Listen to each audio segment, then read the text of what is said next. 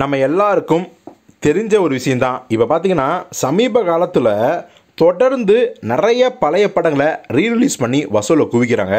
உதாரணத்துக்கு சொல்லணும்னா ஏற்கனவே சூப்பர் ஸ்டார் ரஜினியோட பாட்ஷா படத்தை ரிலீஸ் பண்ணாங்க. கமலோட காக்கி சட்டை படத்தை ரிலீஸ் பண்ணாங்க. இதெல்லாம் பார்த்தீங்கன்னா ஒரு நாலஞ்சு வருஷங்களுக்கு முன்னாடி பெருசாக அதெல்லாம் கொண்டாட்டமாக படலை. அந்தந்த ரசிகர்கள் மட்டும் தான் கொண்டாடினாங்க.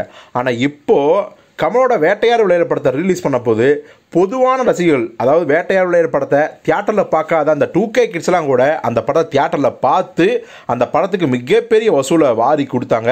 கிட்டத்தட்ட ஒரு மாதம் அந்த படம் தியேட்டரில் ஓடிச்சு தமிழகம் முழுக்க. அதே மாதிரி தான் இப்போ கூட விருமாண்டியை ரிலீஸ் பண்ணி கமல் ரசிகர்களை கொண்டாடினாங்க. அதுக்கு முன்னாடி சுப்பிரமணியபுரம் படத்தை ரீரிலீஸ் பண்ணாங்க. தெலுங்கில் சூர்யாவோட அந்த வாரணமாயர் படத்தை வந்து டப்பிங் பண்ணி ரீரிலீஸ் பண்ணாங்க.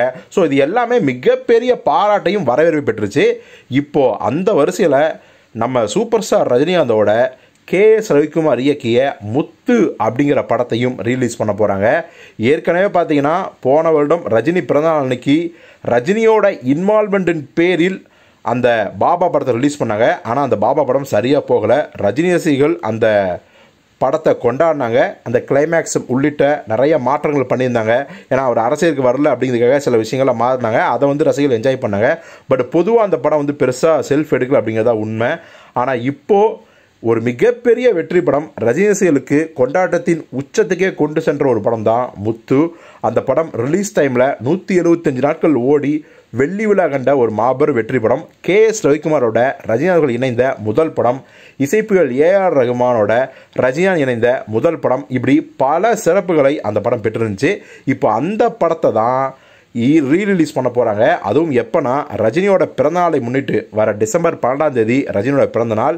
ஸோ அந்த டைமில் முத்து படத்தை ரிலீஸ் பண்ணலாம். ரொம்ப கிராண்டாக ஸோ ரஜினி ரசிகர்கள் மட்டும் இல்லாமல் ஜென்ரான ரசிகர்கள் கூட இந்த படத்தை பார்த்து விரும்புவாங்க.